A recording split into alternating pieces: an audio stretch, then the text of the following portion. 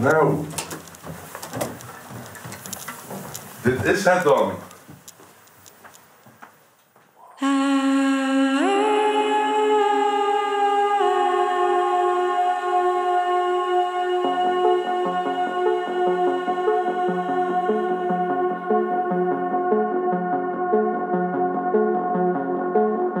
Mijn comfort, mijn lekker even zen worden, dat doe ik hier. En ja, het klinkt gek, maar daar heb ik deze spullen voor nodig. Die zijn een deel van mij en ja, daar geniet ik zodanig van dat ik dat gewoon nodig heb om, om tot rust te komen en, en lekker tot mezelf te zijn. Ik ben helemaal geen alleen mens. Ik heb graag mensen om me heen, maar dit is de enige plek waar ik heerlijk alleen kan zijn, zeg maar, zonder dat ik daar issues mee heb.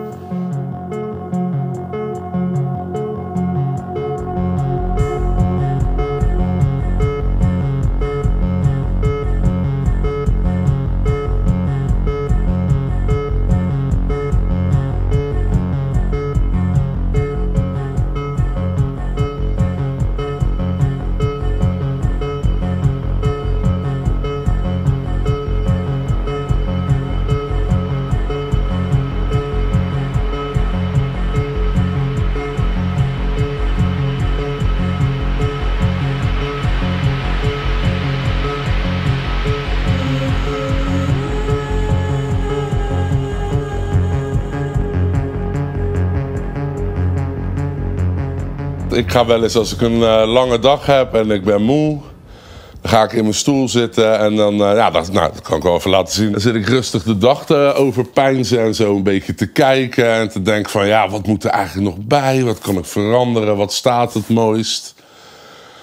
Ja, dat, dat, dat is eindeloos eigenlijk. En eh, dat houdt eigenlijk ook nooit op. Want ook als ik nu weer hier zit, zit ik al te denken... ja, eigenlijk moet die weg en dan ga ik die ervoor terugkopen. En dan hele plannen in mijn hoofd maken. Dat is echt wel iets wat, wat, waar ik heel veel over nadenk. En heel veel mensen zullen denken... wat, hoe, waarom vind je dat zo geweldig? Maar ik, ja, ik weet het niet. Ik vind dat gewoon super mooi. Ik vind het ook leuk om, om bij mijn statues spellen te zetten. Een, een compleet displayvak. Ik vind deze kast ook prachtig dat het echt in segmenten ingedeeld is. Dat is iets eh, waar ik me echt heel lang mee bezig kan houden. Gek genoeg. Klinkt raar, maar het is waar.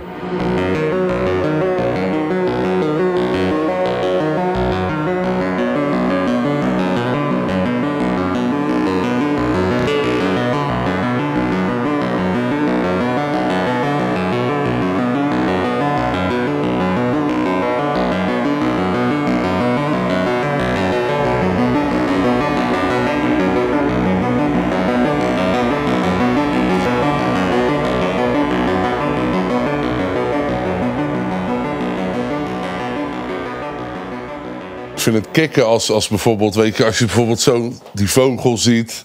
Skyward Sword is een prachtig spel, maar het, het is tastbaar, het is daar, het is groot, het is aanwezig, felle kleuren. Ja, ik vind dat gewoon mooier dan een spelletje neerzetten, zeg maar. Het, het heeft iets bijzonders om dat zo voor je te zien. En ook de gedachtegang dat er maar een beperkt aantal van zijn. Niet veel mensen hebben dit allemaal. En zeker in deze vorm zo alles bij elkaar is dat gewoon, ja, dat vind ik heel bijzonder dat, dat ik het wel allemaal bij elkaar heb, zeg maar. Nou ja, het begon eerst met het merk First for Figures. Dat wilde ik eigenlijk allemaal hebben. Die hebben de licentie van Zelda en eh, die maken gewoon super mooie beelden. En op een gegeven moment was dat compleet. En dan ga je naar andere kijken. Net als deze is bijvoorbeeld niet gelicenseerd. Maar ik vind het wel een prachtig beeld. Ja, op een gegeven moment heb je wat je wil hebben van een bepaald merk. En dan ga je toch een beetje op onderzoek uit wat er nog meer te krijgen is. Natuurlijk, het houdt niet op. Want ook dit jaar komen er zeker nog wel een stuk of zes, zeven bij. En dan gaat er wel eens wat weg. Het mooie aan deze hobby is wel dat, dat het is duur, maar je koopt het en het wordt alleen maar meer waard. Dus soms doe ik wat weg en dan kan ik weer twee, drie andere voor kopen, zeg maar. Zo kan ik het ook een beetje verantwoorden naar de vrouw des huizes. Want dat is wel een dingetje natuurlijk. Het is echt een dure hobby. En er zijn wel statues net als, net als deze. Dit is echt mijn favoriete, deze wolf. Daar heb ik echt de hoofdprijs voor betaald. Want die kwam uit in een tijd dat ik dat soort dingen niet kon betalen. Dus die moest ik achteraf kopen. Nou ja, ook die wolf heeft een prachtig verhaal. Ik heb via een vriend van mij, eh, heeft, die heeft me erop gewezen dat hij te koop stond. Want de beste verkoper had een typfout gemaakt in de titel. Dus uh, niemand had hem nog gevonden. Dus dankzij, uh, dankzij Richard heb ik deze statue kunnen kopen. Daar ben ik nog steeds heel dankbaar voor. Het enige nadeel was, was dat de staart was dat een breukje aan de achterkant. Nou, we hebben in Nederland het geluk dat we de beste uh, statue repairman hebben van de wereld, vind ik zelf. En daar heb ik hem toen heen gebracht. Die heeft hem mooi opgeknapt. En nou staat hij hier. En dit is echt een beeld, al gaf iemand me er 10.000 euro voor, die gaat nooit meer weg. Die, gaat, die blijft voor altijd bij mij en hopelijk een van mijn kinderen eh, als het zover is, zeg maar. Deze kleine links, die zijn ooit voor uh, heel weinig geld uitgebracht, maar die zijn nu inmiddels ruim tien keer zoveel waard als dat ze toen gekost hebben. En ik had de blauwe en de rode van iemand die ik heb leren kennen uh, in de scene, Jeroen heet die heb ik die gekocht toen. En ik miste de groene. En ik zag wel eens die groene, maar dan voor absurde bedragen. Ik denk, dat ga ik niet doen. En toen kwam ik uh, via Marktplaats iemand tegen en met een, uh, een zoon die uh, met wat autisme dingen kampte. En die had in een woedeaanval dat ding tegen de muur aangegooid. En die vrouw die had dat op Marktplaats gezet, beschadigd en al. En ja, die vroeg er weinig geld voor. Ik denk, weet je wat, ik ga dat kopen. Want ik had al gehoord dat er iemand in Nederland is. De, de, de beeldendokter noemt hij zichzelf. En dat is hij ook echt. Ja, het was een ramp toen hij aankwam. Het was echt, uh, alles wat los zat, dat, dat was los. Alles was gebroken. En toen ben ik dus naar de beeldendokter gegaan, naar Robert. En die zegt, ja, dit wordt heel veel werk, maar het kan. Ik kan het doen. En het was ook niet goedkoop. En hij heeft mij verzekerd van, het komt echt wel goed. En eigenlijk heb ik de hele periode dat het duurde, want hij is daar echt lang mee bezig geweest, heb ik gedacht, nou, dat, dat ga je zien. Dit wordt geen mooi beeld om neer te zetten. Dit heb ik echt wel twijfels gehad. En uh, ik zal niet snel vergeten, ik kwam bij hem binnen. Hij had hem daar staan op zijn keukentafel. En ik dacht, wauw, is dat dezelfde als die ik hier gebracht heb? Want als je nu, je kan zo dichtbij als je wil gaan kijken. Hij is in perfecte staat.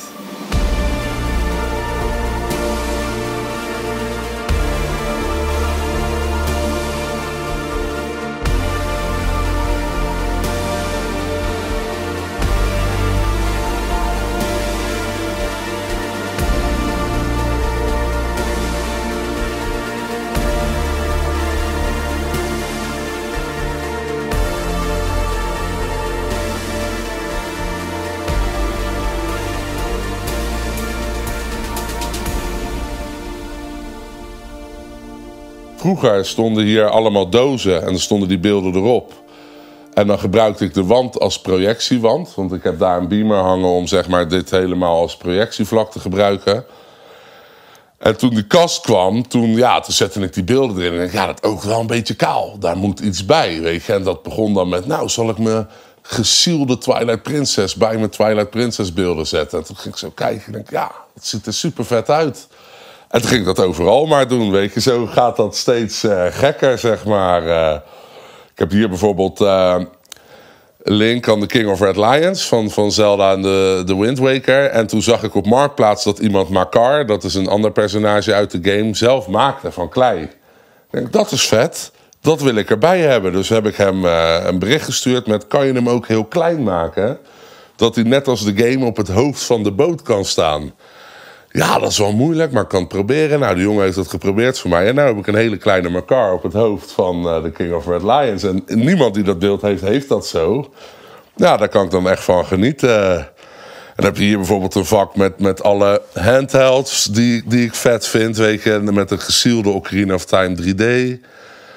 Met Goran Tunic en, uh, en Darunia erbij. Ja, dat vind ik dan mooi bij elkaar staan zo. Ik vind wel uh, wat hebben om dat bij elkaar te hebben. Als je de beelden er los in zet Vind ik persoonlijk niet mooi. Er zijn heel veel collectors die dat wel graag doen.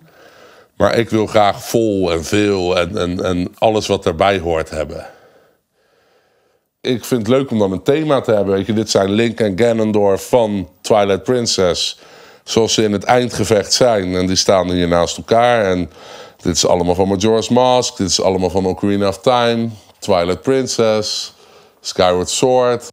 Nou, dit gevecht is een iconisch gevecht voor elke Ocarina of Time speler. Zora Tunic Link tegen Dark Link. Dat je die, die, die mistige tempel binnenloopt en dat opeens jouw schaduw daar staat. En dat was in die tijd echt mindblowing. Van wow, deze gozer is nog sneller dan ik. Die kan alles wat ik kan. En moest je creatief denken om te verslaan. Dat wilde ik dan graag uitbeelden zo. Er komt best wel veel werk bij kijken om dit zo te doen. Nou, een vriend van mij die is aannemer en die heeft uh, me geholpen om deze hele kast te bouwen en de bedrading te doen. En uh, uiteindelijk ook dit projectiescherm hierboven te hangen. Want dat is allemaal ja, op de millimeter gedaan. Want het, het moet wel open kunnen. Zie je, dat was, dat was niet makkelijk allemaal, maar het is wel gelukt. Dus nu kan ik gewoon met een druk op de knop, wordt dit één groot scherm. En dan uh, kan ik hier films kijken met mijn kinderen of Nintendo games spelen met mijn kinderen.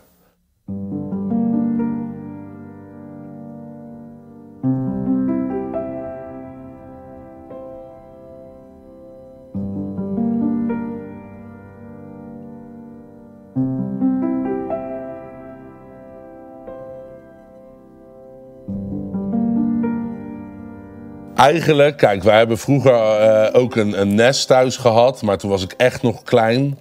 En dan begrijp je toch vaak de dingen niet. Maar als ik één spel kan noemen wat echt veel voor mij betekend heeft, dan is dat zeker deze.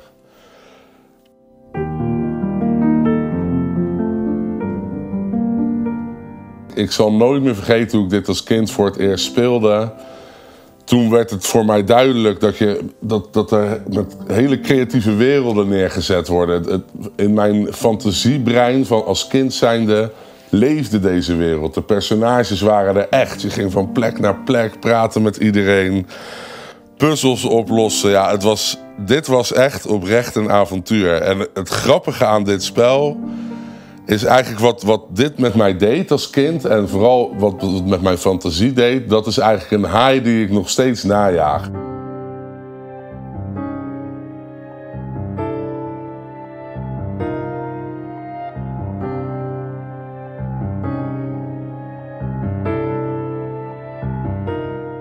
Ondanks alles wat er nu is, high-end PC's, virtual reality, ik vind het allemaal vet. Maar niks komt in de buurt van wat dit met mij gedaan heeft als kind. En, en dat vind ik aan de ene kant jammer, maar aan de andere kant koester ik die herinnering ook wel. En dat, dat maakt ook dat ik het zo fijn vind om dit spel te hebben. Want ik kan hier naar kijken en dit, dit is de, de kleine jongen, zeg maar. En die heb ik voor altijd hier in de kast staan. En die zal ook nooit weggaan, denk ik. Want ja, het is een stukje van mij geworden.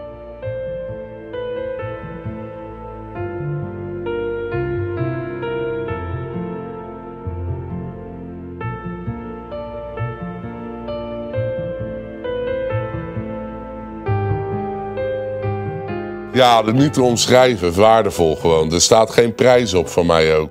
Ik ben in mijn jeugd lang zoekende geweest van wat moet ik nou met mijn leven. Weet je, ik, ik vond niks interessant. Ik wilde alleen maar buiten hangen. School was niet mijn ding. Van dit wist ik vanaf de eerste seconde. Dit, dit vind ik geweldig. Dit wil ik meer. Ik wil alles weten. Ik wil alles erachter hebben, zien, uh, ervaren.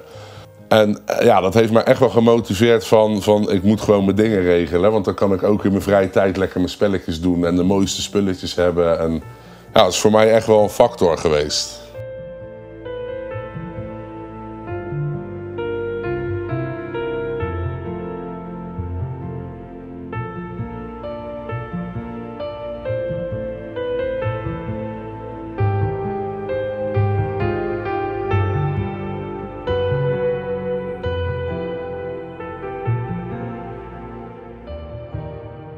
Nou mijn ouders weten als geen ander wat dit voor mij gedaan heeft. Weet je, ik heb vroeger een hele hoop ellende veroorzaakt voor mijn ouders. Door niet naar school te gaan, door rottigheid buiten te trappen. Mijn ouders hebben ook in mijn jeugd nog nooit moeilijk gedaan over dat ik uh, lang achter elkaar op mijn kamer een game aan het spelen was. Want die dachten, zolang die hier zit, kan er buiten niks geks gebeuren.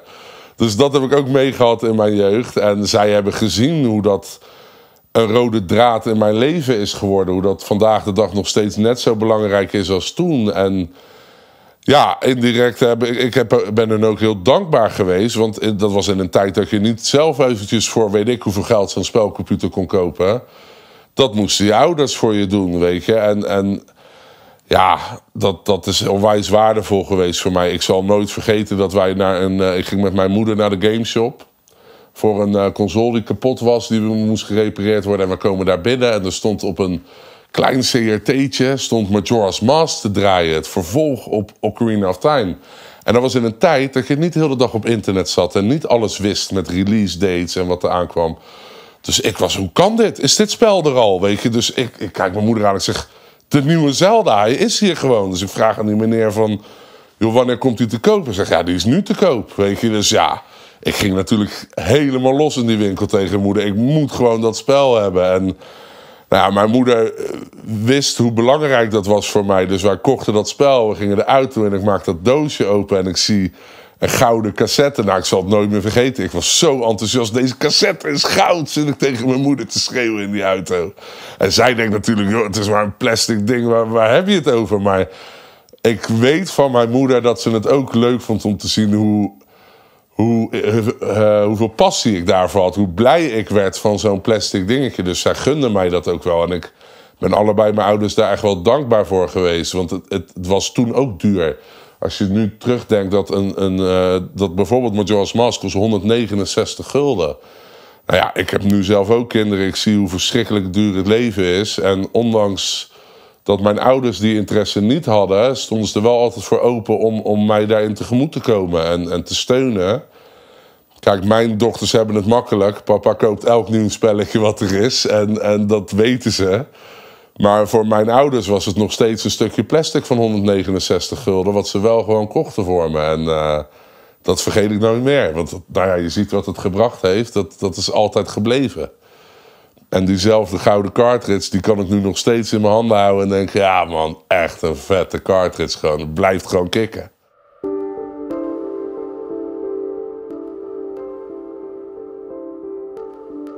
Kijk, toen, toen Xbox Live begon, toen, uh, ja, dat vond ik interessant. Want ik ben wel een sociaal mens. Ik doe ook sociaal werk. En uh, ik vond dat kicken dat je met andere mensen kon praten. En, en dit spel heeft echt de allergrootste impact misschien nog wel gehad. Dat was echt mijn kindertijd. Maar dit is echt mijn pubertijd. In de tijd dat ik echt gewoon niet naar school ging, niks deed. Dit spel maakte mijn hele dag. En dan bedoel ik echt gewoon van 10 tot 14 uur per dag alleen maar dit spelen met vrienden. En daar heb ik echt wel uh, een band gekregen met mensen die dieper gaat dan wat dan ook. Weet je, dat, dat zijn jongens waar ik in een moeilijke tijd alles mee besprak. Want achter die headset is het gewoon makkelijk praten. En ja, wij speelden dit de hele dag. Maar ondertussen praten we ook al onze problemen uit. Uh, vormen we vriendschappen. En ja, die mensen die ik op dit spel heb leren kennen. En het is inmiddels al een goede 22 jaar oud, denk ik die mensen spreken nog steeds dagelijks. We spelen nog steeds Halo. Wel anders nu, omdat we allemaal kinderen hebben en een druk leven en een druk bestaan. We moeten dat echt afspreken. Maar de, de, de connecties die ik gemaakt heb op deze game, die, uh, die zijn me nog steeds waardevoller dan wat dan ook. Misschien nog wel waardevoller dan al deze spullen bij elkaar. Qua gamen zelf is het anders dan vroeger. Weet je, vroeger was het echt draaide de hele dag erom. Nu is het meer, uh, als er even een vrij avondje is, dan spreken we op WhatsApp af en dan gaan we weer een potje knallen. Het is nu secundair geworden, wat gezond is ook denk ik wel. Als je kinderen hebt, dan kan je dat niet primair maken zoals dat vroeger was. Maar ik kijk daar nog steeds uh, echt wel op terug van... Uh, ondanks alle perikelen omtrent die periode zou ik het zo weer doen. Want ik had het niet willen missen, de, de plezier wat we gehad hebben online met z'n allen.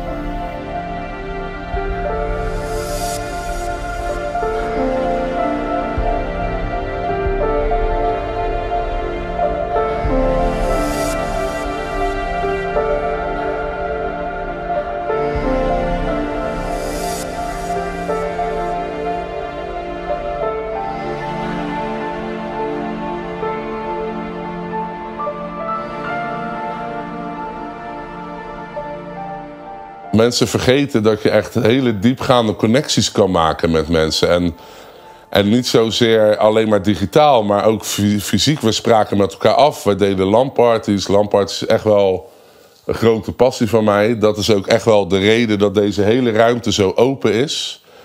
Want zo'n één keer per drie maanden, dan komen alle eetstoelen van beneden en dan staat het hier helemaal vol. Dan zitten we hier met z'n twaalf tot veertienen gewoon eh, een, een weekend te gamen. En, en dat is zo gezellig. En, en nou ja, dat begon echt in de, in de Halo 2 tijd. En dat was echt nog in de beeldbuizen tijd. En dan zaten we in een bedrijfspand van eh, iemand, uh, zijn vader.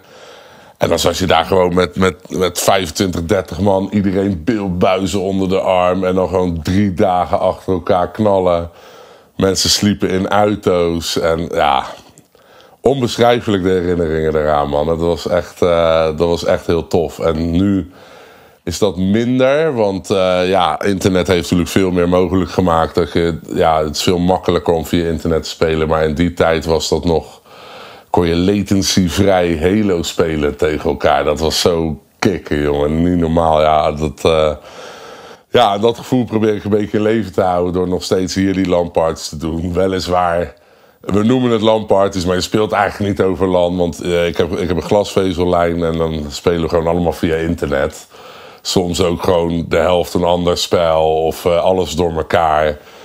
Maar ja, ook nu nog steeds zijn er wel momenten dat we bijvoorbeeld met z'n allen Fall Guys spelen. Nou, de gieren van het lachen, weet je. Ja, de gezelligheid is bizar. Onder deze tafel staan nog wat tafels. Ik haal alle eetstoelen van beneden. Ik kan comfortabel 12 mensen laten zitten. Dan moet je echt overal zo tussendoor lopen. Ik ben de weken ervoor ben ik al uh, alles neer aan het zetten. Ik heb daar allemaal extra monitoren staan voor mensen die van ver komen. Indelen, lijstje maken wie wel een monitor meeneemt, wie niet. Het moet allemaal net passen en meten, zeg maar. Uh, onder de bank leggen bijvoorbeeld allemaal LAN-kabels. Ze zitten overal zodat ik ze gewoon zo kan pakken en klikken. Want hierachter Achter staat een 16-poort eh, switch. Comfortabel 12 consoles aansluiten en, uh, en knallen.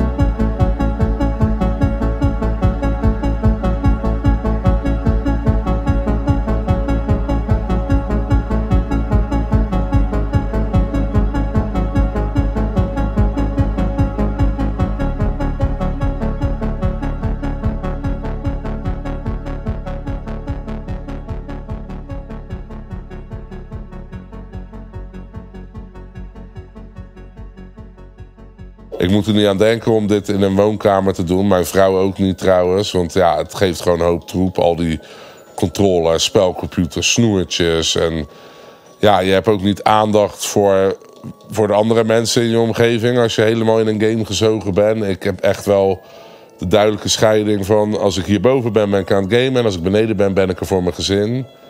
En, en zo is het gewoon, weet je. Dat, dat, dat heb ik wel nodig. Ik zou niet tussen mijn kinderen en mijn vrouw een spelletje kunnen spelen. Want ik wil dan gewoon focus hebben.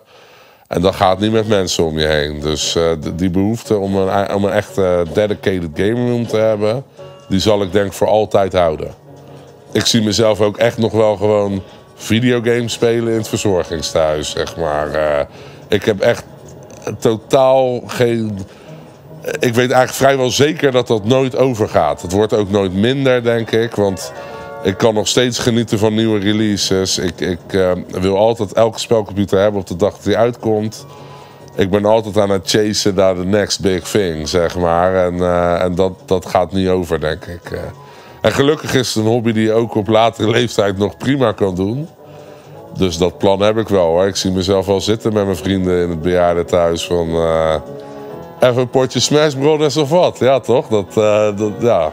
Kijk ik nu al een beetje naar uit gewoon. Uh.